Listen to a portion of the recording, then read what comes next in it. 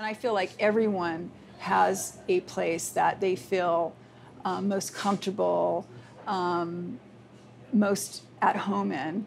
Um, mine happens to be the desert. Kim's passion reminded me of another desert advocate, one from the history books, Minerva Hamilton Hoyt. A wealthy socialite from South Pasadena, Hoyt fell in love with California's native desert flora and curated a series of garden exhibits to share her passion. Unfortunately, her passion became a little too infectious. Hoyt sparked a craze that had Angelenos driving into the desert to dig up the closest cactus they could find. Hoyt soon realized the precious plants needed federal protection, or else they'd be loved to death. She recruited powerful allies and launched a crusade to create a national park in the Southern California desert. But in 1933, the incoming Roosevelt administration was ambivalent about protecting this sun baked land. So, Hoyt traveled to Washington, D.C. to sell the idea in person, and she brought with her a pitch deck, a photo album with images that highlighted the stark beauty of the area. I wanted to see the album for myself and learn more about this passionate proponent. So I met up with retired park ranger and historian Joe Zarki at the Joshua Tree National Park Archives. Open that up, and here's the actual album. So we're going to open it and take a look at some of the photos. Photographs taken in the prospective Minerva Hoyt Monument. Right. So Minerva Hamilton Hoyt put this book together, this scrapbook together, Right. and brought it out to Washington. Yes. So Minerva sat down with Secretary Ickes, Right.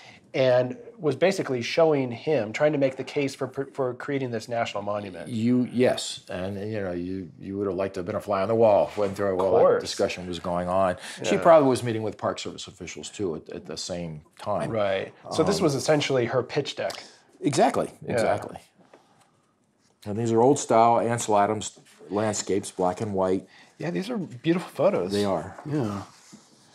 Uh, some of them show not only the area uh, that became Joshua National Monument, there are some photographs in here that show some of the other sites that were being looked at also. Because she she proposed a much larger park than what was uh, Exactly. eventually enacted. Yeah, and uh, her first big success came around 1933 uh, when she got Ickes and Roosevelt to sign a presidential proclamation that withdrew 1.1 million acres out of the public domain, so you couldn't file Mm. mining claims or anything in it anymore, while it was being studied for potential Mm. preservation as a park.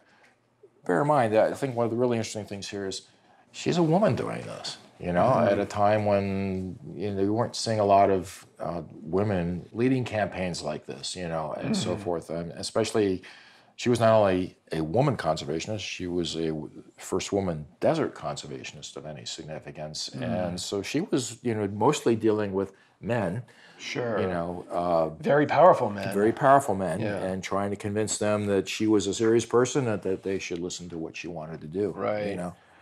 So these were some of the, you know, the landscape images that she was showing. So we have Josh trees, but we also have the boulder formations now that you see. I love these captions too. Many interesting groups of rocks, such as these, makes the Inspiration Point country a geologist's paradise. Right. Yeah.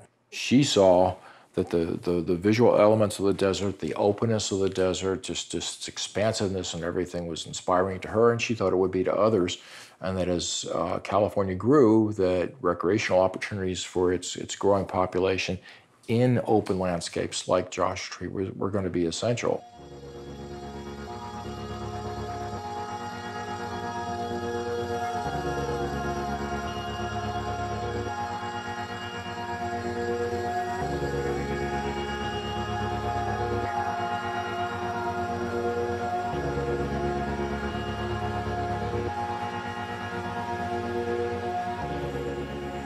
These photographs, and Minerva Hoyt's tireless activism, sold FDR on the idea of desert preservation.